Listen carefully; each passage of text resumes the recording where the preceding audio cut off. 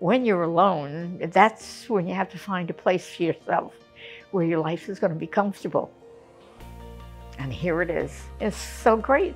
And my daughter only lives three blocks from here. It was a wonderful fluke. Just kind of drove in the drive and walked in the door and met Peter and we chatted a little bit and, and I thought, oh my gosh, this place is fabulous.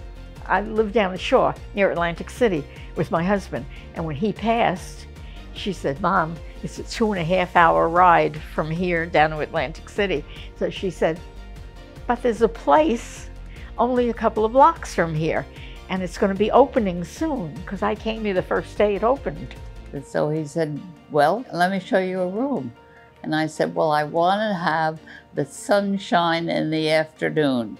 I said, that's what my old home is I, I would miss that. So he taped and first floor, he opened the door and he said, what do you think? I said, gosh, this is perfect. I was so glad that she found this place I'm glad I took up her suggestion. My life couldn't be happier.